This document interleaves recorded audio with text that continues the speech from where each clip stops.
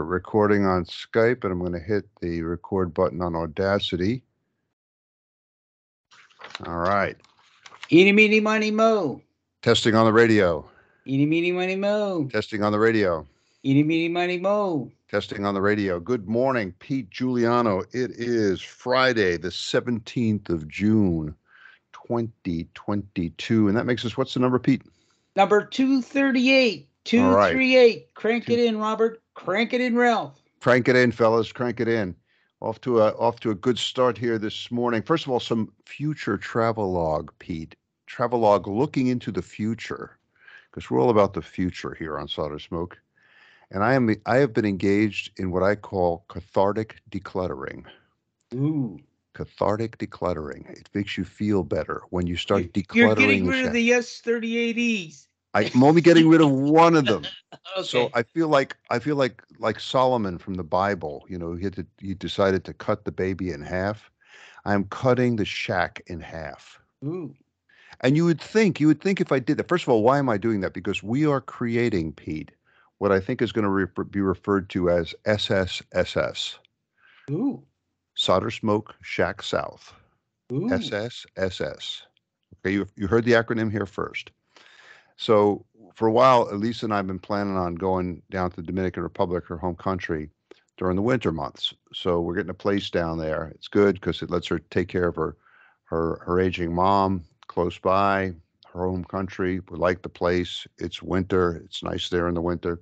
You speak the language. Speak the language. Lived there before. It's going to be great. Um, so we, we're getting all that set up. But I, but one thing I said is I, I have to have a ham shack down there. You know, you can't be without a ham shack. So I started looking around and I realized what I should do is just take half of everything that I have here, everything, parts, tools, test gear, rigs, antennas, everything, half. So I have in the other room these big plastic boxes. And every time I see something that I should have down there also. So for example, I saw my my my resistor collection, right? Carefully selected resistors. I told Mouser, Mouser send me another one. They go into the box. I have two S38Es. Nobody needs two S38Es. Not even one. Nobody needs one. so, but anyway, I put one of them in the box. I have a whole bunch of BITX's. Half of the BITX's went into the box. How about the HJ600? No, that's going to stay here. That's going to stay. That's going to stay here. Um, the DX100 will also stay here. Believe me, for good reasons.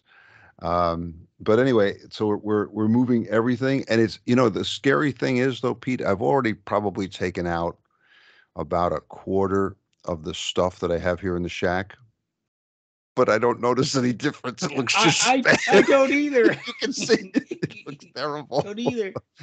So I tell my wife, I said, "Honey, look, I've gotten rid of all this stuff," and she's like, "Where? Where did it? Where did it go? Where was it?" But so I think I'm going to have to do some more cathartic decluttering. But that's the um, that's what's going on. Everything, half of everything must go south. I've also reestablished contact with my buddies from the Dominican Radio Club, and this is really cool. They're helping me get my Dominican license, and uh, or actually a, a, a kind of a, a, a reciprocal license arrangement that we could use that I used before. Before I was N2CQR stroke HI8. I am now going to be N2CQR stroke HI7 Ooh. but you know similar but different it's going to be it's going to be good it's going to be good so we'll, we'll be down there probably next winter but we're getting going hey pete before we go we have to we have to talk a little bit about our sponsor. Yes. parts candy. Carlos out there in chicago look at them. I even have you could see them on the video. Look at that man. Look at Nice. those look at those test leads. Nice. they're beautiful colors and you know we were talking about how important these um, test leads are when troubleshooting and stuff you know and i think you and i both have been talking about the disappointment that comes or the, the frustration that comes when you're trying to troubleshoot a rig something you built or something old that you're working on and you used a, use a test lead to sort of connect power to a, a particular stage and you think, oh well, now now look, it's not working. So ha, maybe this stage is not getting something wrong in there. It's not getting power. And then you realize that the reason it's not getting power is the test lead that you're using is so cheap that they didn't even they didn't even solder the alligator clip to the wire. They just crimped it. They crimped it through the insulation. Holy cow. That is really hit and miss. It might work a couple times, not work a couple times. I guess the the, the phrase that we want to use for this this in this episode of Solder Smoke is don't scrimp on the crimp or don't scrimp Ooh, with the crimp. Nice. Don't scrimp with a crimp. I want a trademark on that one. But um, anyway, what we're saying is that you should use the the test leads from Parts Candy. Our our buddy Carlos out there in Chicago, one of us, an electronics tinkerer. He's got his own business there, and he hand solders the wires to the alligator clips. So when you get a test lead from Carlos and Parts Candy, you know that that connection is going to be good. When you put that lead in there and connect power to a stage through one of Carlos's test leads, you know power is actually getting there. And the problem, if there's a problem, is in the stage you're testing and not in the test lead that you connected there. So this is this is really important. Carlos has got a, a kind of a, a growing variety of test leads available not only for with alligator leads, but different sizes of alligator leads, and also test the kind of test leads that you'd want to connect an oscilloscope up to or something like that. All all of his his products are available, and you could see them on his um, on his eBay site. Just search for Parts Candy, one word on on eBay. I have the link up. I'm going to put it up here on the uh, on the blog page. It's basically www.ebay.com slash USR slash parts candy. But if you want to get to them even quicker, just go to the Solder Smoke blog on the left hand side. You'll see the leads there. Click on the picture, the colorful test leads. Boom, it takes you right to Carlos's page. Buy some of his test gear. And remember what I said don't scrimp with a crimp. Get a real test lead from Carlos. Pete, your bench. I know you've been busy. You've got you've got heavy family responsibilities lately Yes. But but you still I, I can still tell that the N6QW mind is, is at work exploring the the corners of radio. So what have you been, what have you been finding, Pete? Well, well, first of, I have a little story to share with you about something that occurred yesterday. And in some ways, it's a little scary, and in some ways, it's a backhanded compliment. I received an email from a friend of mine in the UK who was in receipt of an email from the a Chinese service that registers URLs and they wanted to know if it was okay to register n6qw.com.cn, which means it's in China, and or n6qw.cn, China. And they said they looked at the national registry and they already saw an n6qw.com and wondered if this was a problem. So why did the guy in the UK get this and not me, which is kind of interesting. And so I think the common link is um, the direct conversion receiver, the MC1496. This particular ham in the UK is mentioned in there in a link that he developed some Gerber files for the MC1496 direct conversion receiver. So you're adding two and two. Aha. so someday soon, you're going to see the MC1496 direct conversion receiver. Hundreds of millions of people will be using this in China, Pete. yeah. So, so, so anyway, it got a little worrisome about do that. So I called GoDaddy and said, "What's the story?" He said, "Well, first of n6qw.com belongs to you, so they're not going to get their hands on that. But they do this frequently. They do this, and then they start building stuff, and it looks like, yeah, connect to n6qw.cn. So this looks like I'm set up in business in China. So it's kind of a backhanded. It's going to be like you and Alibaba, and you're going to be amazingly rich. It's great. I mean, I think it's No. terrific. you, you get taken out of the equation. They just steal the design. What's this, this? This raises something I want to ask about. And Dean, KK4DAS, and I have been talking about this. This business about counterfeit parts. yeah, terrible. I mean, wait a second. But but when you think about it, how much money could they make from making counterfeit IRF 510s, right? And especially IRF 510s that don't work. Who would go to the trouble of making? The only thing I could think of is that perhaps they were trying to do sort of knockoff IRF 510s, their own IRF 510s, with the with the intention that they would work. And then for And then some they reason didn't. they don't, and they still try to sell them or something like that. Yeah. But but the idea that there's people out there sort of like, wow, we will, you know, we will counterfeit the NE602 chip and sell them to the unsuspecting radio amateurs. I, I just don't, I mean, I, I don't know. It doesn't seem like there's a whole lot of money in that. Yeah. Well, so a word of the wise here, if you've got a website and you want to kind of protect it, you might take you might take ownership of the related URLs. Like yesterday I bought n6qw.net. Oh, yeah. So so I have n6qw.com, n6qw.net. I mean, you can buy them all if you want to, but but this is a common practice and so just something to be aware of.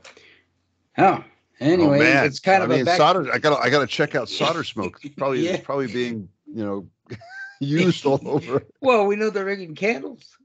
the what? They're making candles. Oh, the can and, per- and perfume and cologne. Yeah, in Wimberley, Texas. Yeah. That's it. And that's Yeah. good good stuff out there. Yeah. okay. Okay. so this brings us around to cycle 25.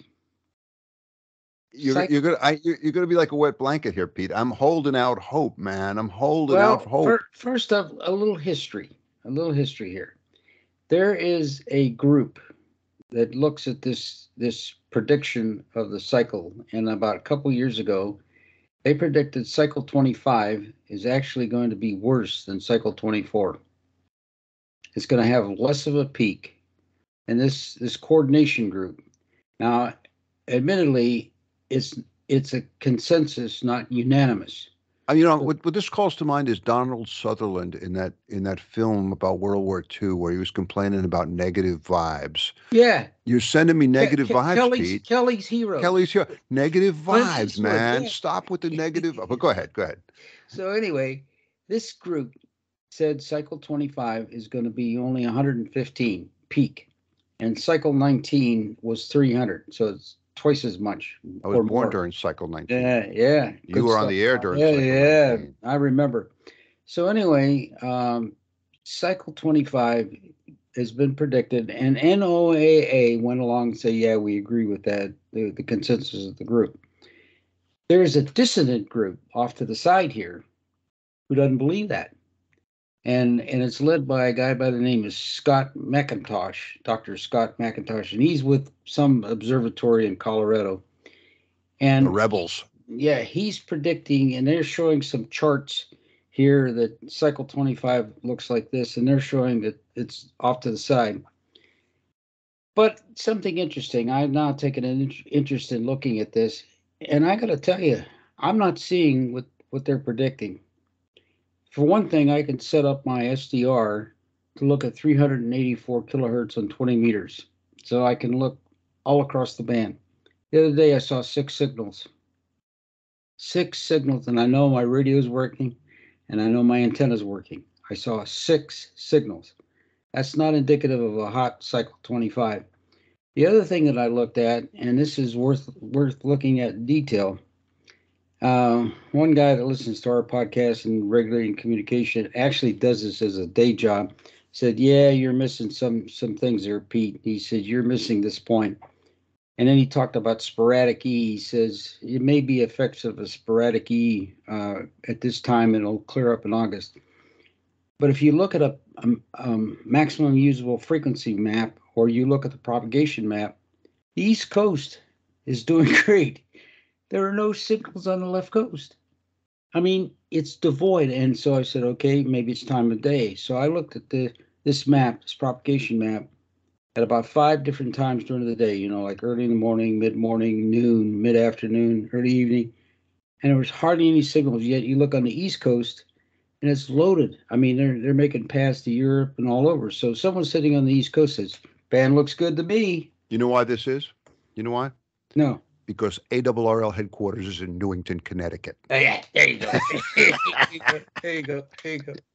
There you go. So anyway, there's the there's this splinter group says it's going to be big, but take a listen.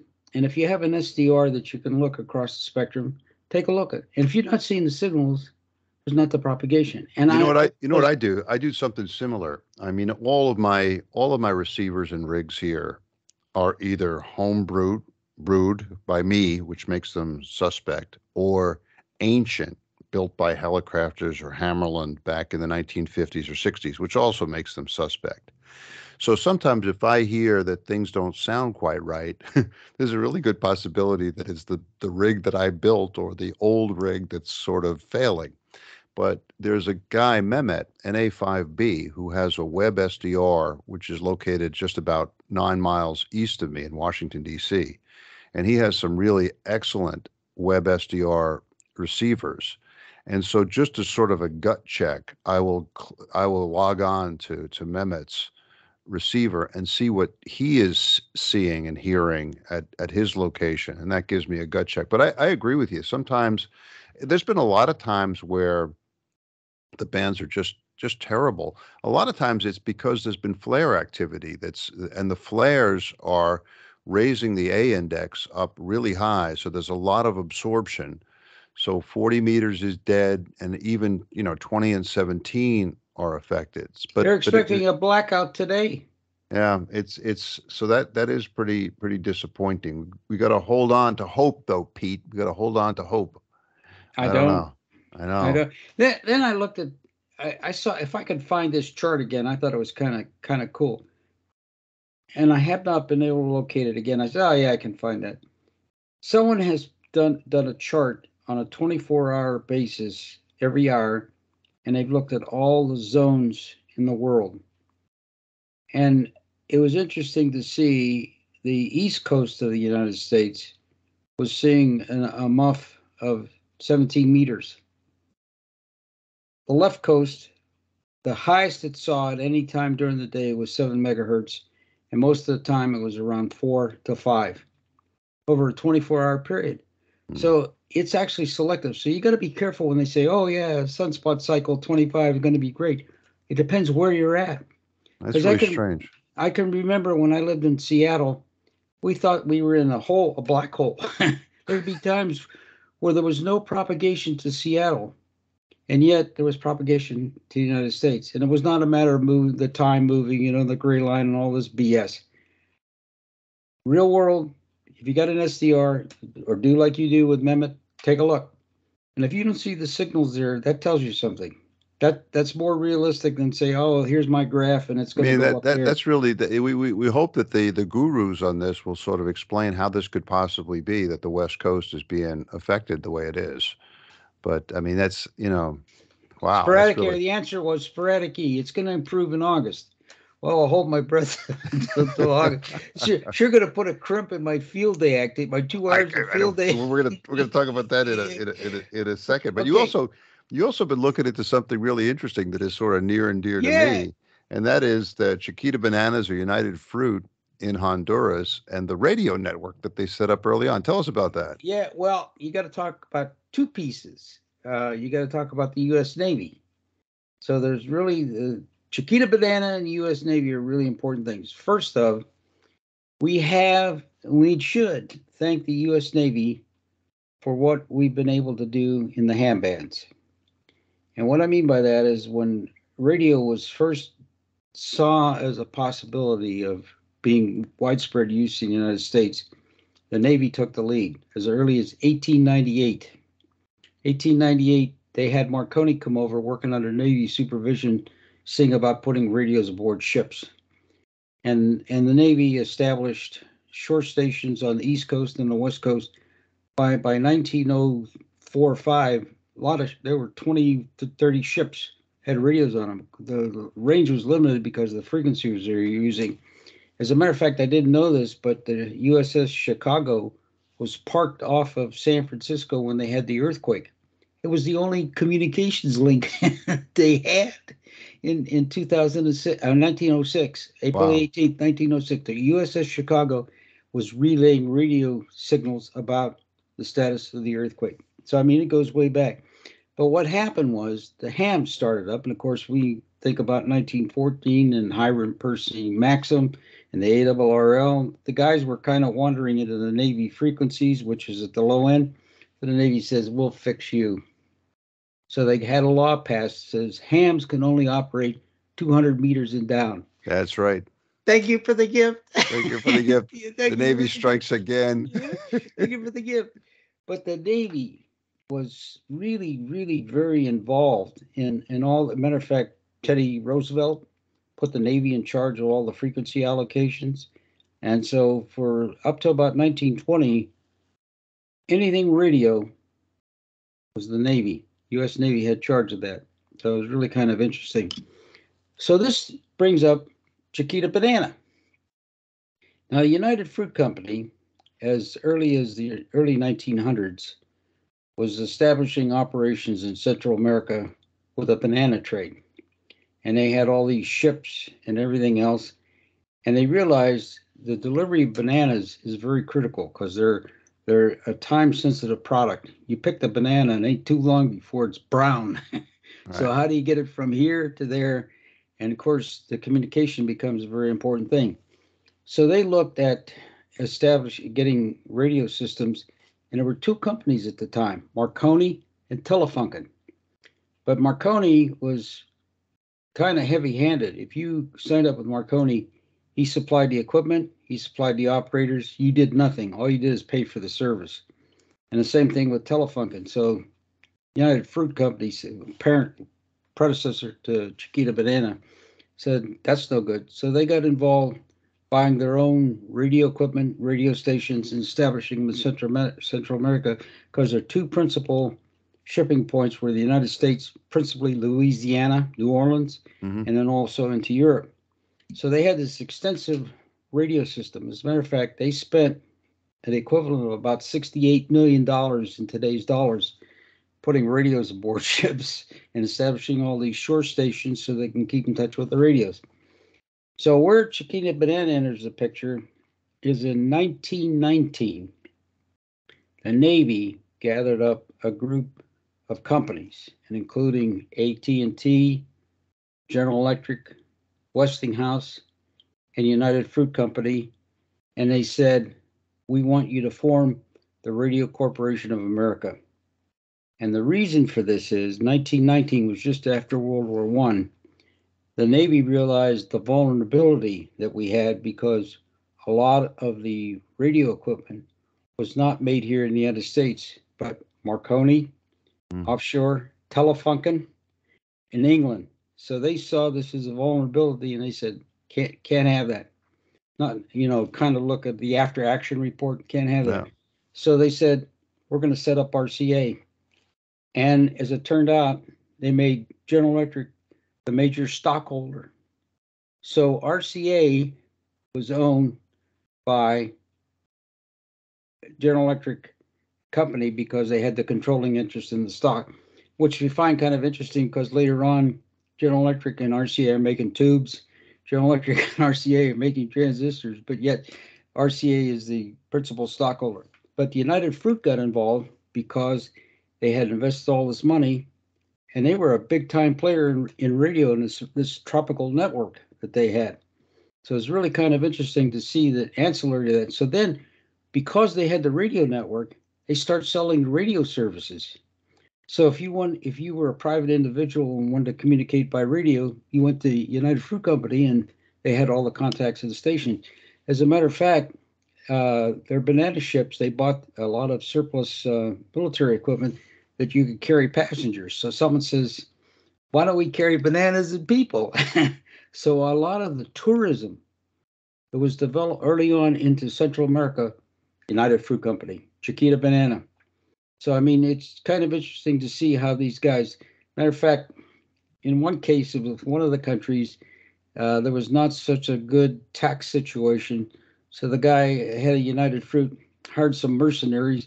They went in and they took over a country, reestablished the old president, and then they got a you know, special arrangement for taxation, what have you, to circumvent. So, yeah, well, there's, a, there's always been a lot. There's always been like a really special connection between Honduras and New Orleans because and, and a lot of it goes Yeah. back to the early early Yeah. banana trade. And I, I I lived in Honduras for several years, so know know the place really really Yeah. well. Very interesting, interesting history. You put up. I, I I found a link this morning when I was looking about the creation of RCA, and it's exactly as you describe.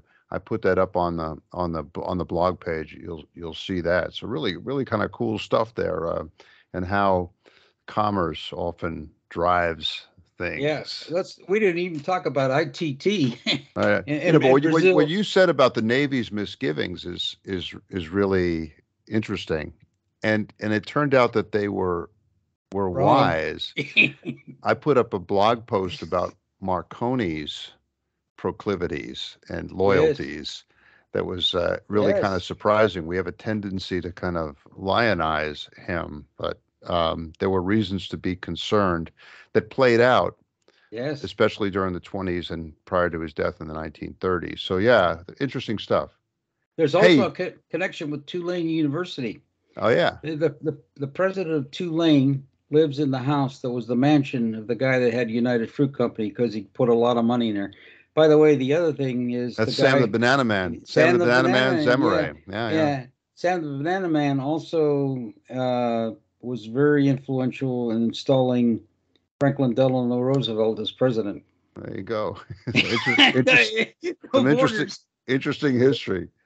There you go. Hey, what, tell us about the MAX2870.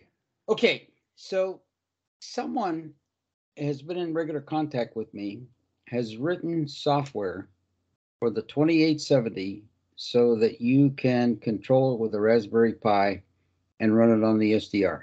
Finally, we we, Finally. we we issued this call. I told people, I said, believe it or not, you can help Pete Giuliano, who knows everything, has built everything, and has done everything. You can help him with something here and do the software for the 2870. Somebody came through. Yeah, now it's a little more, it's a little complex about getting installed, and I've got only because I have limited time. I actually physically have a 2870, and I actually have started to load the software on a Raspberry Pi, but just do not have access to a lot of time to be able to do it. But we're real close. I see victory around the corner. Yeah, Cool, very good. Hey Pete, are you going to take time for field day? You're going to do field two day? two hours, two hours. You're going to do two hours. That's that's okay. That's it's, it's in keeping with our our normal solder smoke kind of aloof, snooty. We're not going out in the hot and the mosquitoes kind of thing. Yeah. Well, this But year I think you're limited to 100 watts, Uh huh. so you can't run the KWs. So Oh, there's wow. going to be a lot, lot of comp, lot of competition. So actually, on, on there's a couple of radios I'm thinking of running, and and one of them is I've dusted off my Atlas 180. I picked up an Atlas 180 for a hundred bucks, and there was nothing wrong with it. So it it goes only up to 20 meters. So it looks like I may do a 40 20. 40 20 with All right, there small you little go. Atlas. Yeah. All right. Well, there you go. You you could win the Yes. Southern California Boat Anchors Field Day single operator Yes. backyard division. yeah.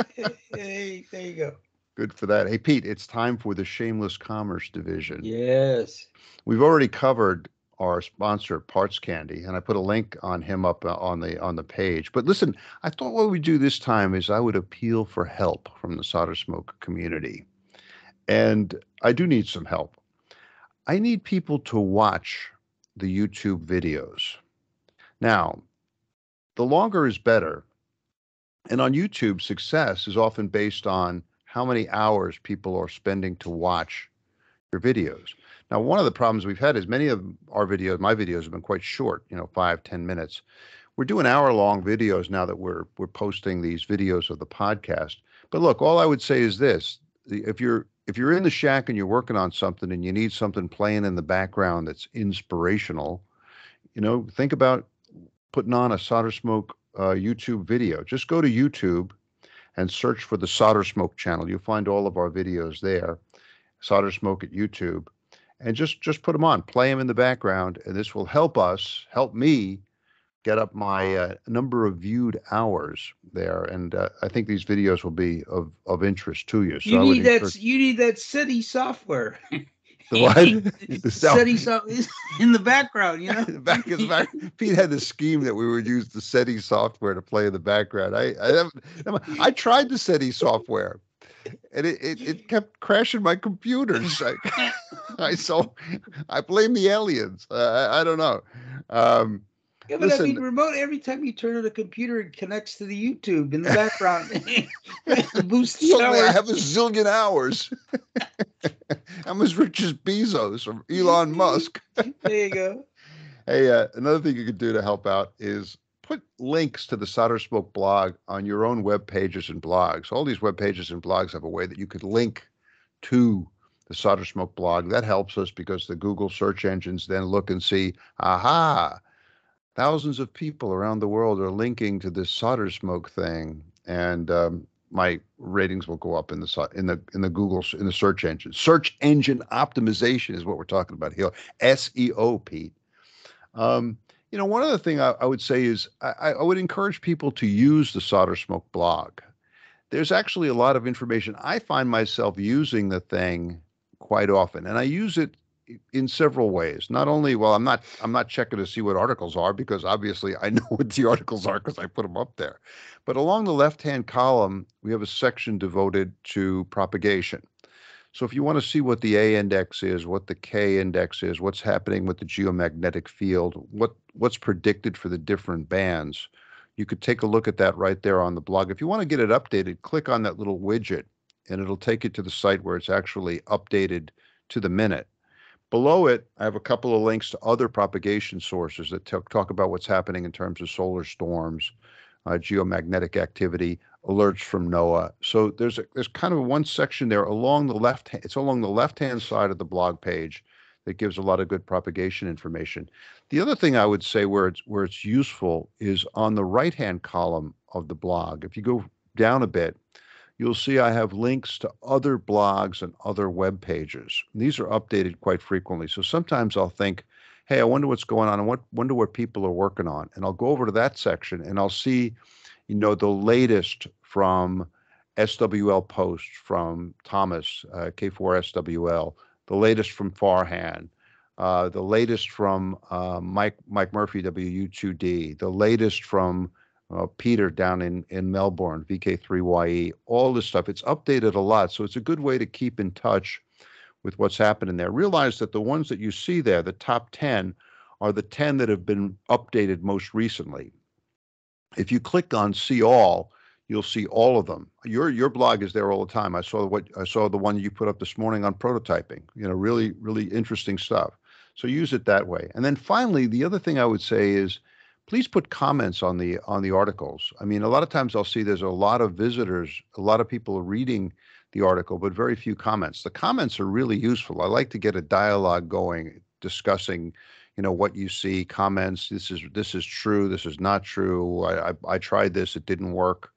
Links to whatever you're working on, things like that. So put those comments up there. We like comments and we like dialogue. I I turned the comments off and I'll, I'll tell you why. I get a, all these people are writing me these young ladies. oh man, well, you, well they, you, you, that's a good move. That you want to stay out of trouble, Pete. It's it's the beret. It's the beret. That's the thing, man. The beret's causing you a lot of trouble. Turn off the comments, man. We're, we're not going to make any comments about these comments. Okay. All right. Hey, listen, I, I said I was going to talk a little bit about what I have on my bench, and I've actually been been quite active. Uh, first, I guess early on, I was working on a uh, a Sony ICF SW1 shortwave receiver. This thing is from like the the, the late 1980s, I think. It's a tiny little thing. It's supposedly the smallest shortwave receiver ever made. Sony made a bunch of them. They sold like hotcakes. They were very popular. But they quickly went bad because there were bad electrolytics in it. Bad surface mount electrolytics. Apparently Sony, now there's there's debate about why this happened. Sony might have just got a bad bunch of electrolytics. Others, more cynical, say that this is a planned obsolescence thing that by putting these capacitors in there, the manufacturer kind of guaranteed that somebody would have to come back and buy a new shortwave receiver after the components went bad. But there's sort of a cottage industry that's developed around the ICF SW1 where you can buy on the internet replacement kits for the electrolytic capacitors. So you, you, you send them like 12 bucks. They send you this little bag with the capacitors in it. and then you then you got to go in there and do the delicate work of pulling out surface mount electrolytics That's hard. and putting in it's hard it's not for the faint of heart it's really scary. I i, I lifted a, a pad or two and had to go in there and replace the pads. I, I came close to blow and i kept thinking i'm pretty i'm a pretty experienced builder. A newcomer would definitely have trouble with this. But i i got them in there and it works so i got the thing working. It was given to me uh, about 10 years ago by my friend john roberts who who was a ham and he just it, it he couldn't get the thing to work and I said I'd work That- on it. that's John Not the, that's not the SCOTUS guy, is it? the the what? Is- No no no no no no no, no different fellow, a different John Roberts. Yeah. Anyway, uh anyway, Well, uh, you I- never know in Washington. you never know in Washington D.C. Yeah, could be could be right down the road. No no no. Um, but anyway, I got the thing working, and one of the things I discovered when I was looking at this was you go on the internet and you discover that um, this particular receiver was supposedly, and the, the sources on the internet on this one are quite good, like the uh, the the Spy Museum and things like that. That this receiver was used by people who had a, um, well, shall we say, professional interest in receiving the signals from the so-called number stations there are these stations where somebody gets on, and if you tune in, you've been you've been hearing them many times over the years, as I have too. You're going across the short shortwave band, and all of a sudden you hear 47, six, 50, seven, six. three, two, or sometimes in Spanish, dos, veintitrés, treinta y cuatro, ochenta y seis. You know, and so you're saying, what the hell is this?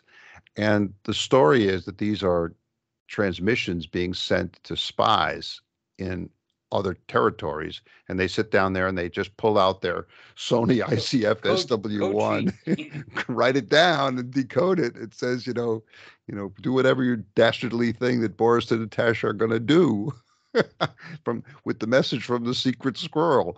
Um, anyway, that was that was kind of interesting. But I got this thing working, and once I got it working, it went into the box, and it will be heading to SSSS. Okay, so that's one that's one thing I've been working on. It was kind of fun. It was hard to do. On the other end of the technological spectrum, from the smallest receiver. Now I'm working on the HQ 100, which um, I, I picked my HQ. Oh, one one back thing back to the Sony I, ICF SW1. I started thinking about the vintage of this thing. This is sort of mid 80s to, to late 1980s. That's the time of the Walkman.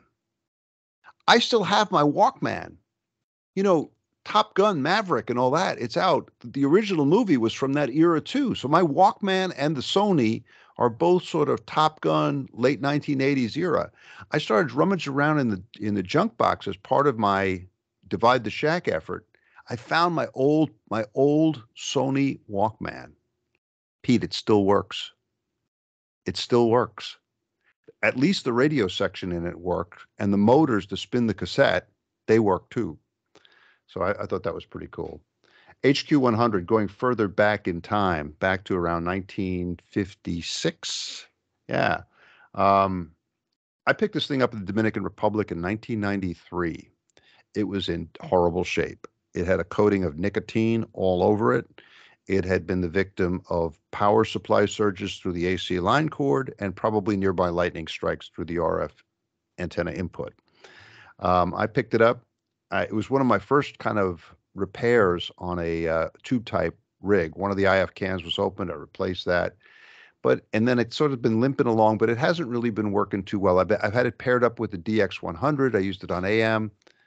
Not working too well. A lot of things wrong with it. So I finally decided, okay, I'm going to start working on this thing again. And I pulled it out, and I found all kinds of things that were wrong with it. And I started repairing it. There was a problem with the the BFO switch. The AVC wasn't working right. The S meter wasn't working right.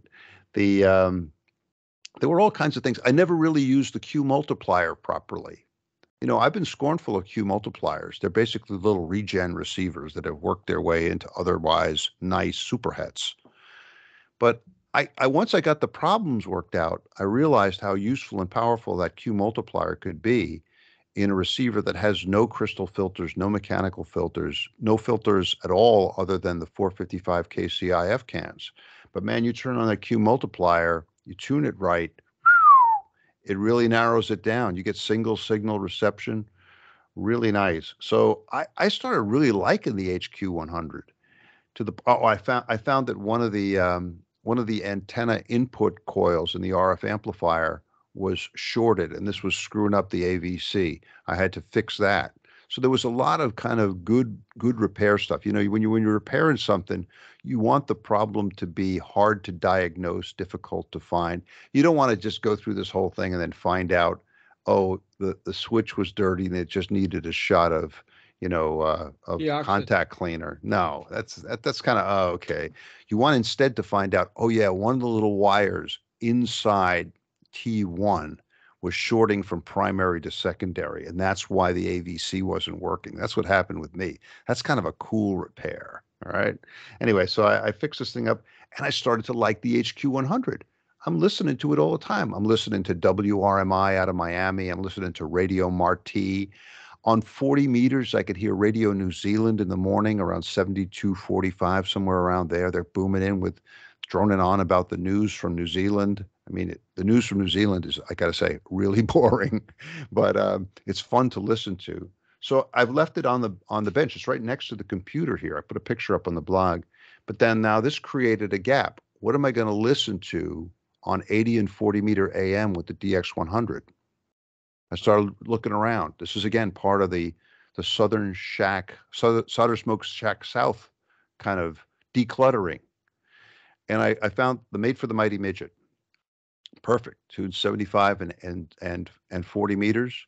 And I started fooling around, tweaking, working on that. Again, it was sort of halfway working, but not working too well. But I had to go in there and address some problems. So I looked at it. One thing I found, the detector circuit you know, if, when you've been in this in this hobby for a while, you start looking at schematics and you say, I know you do this all the time. Why did he do that?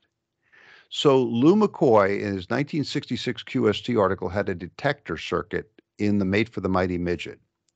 Pete, the detector comes right after the 455 KCIF cannon, right before the audio amplifier. That's where you put the detector, right? He's got two diodes, two germanium diodes in there your beloved germanium devices, two germanium diodes in there. Okay, so far so good.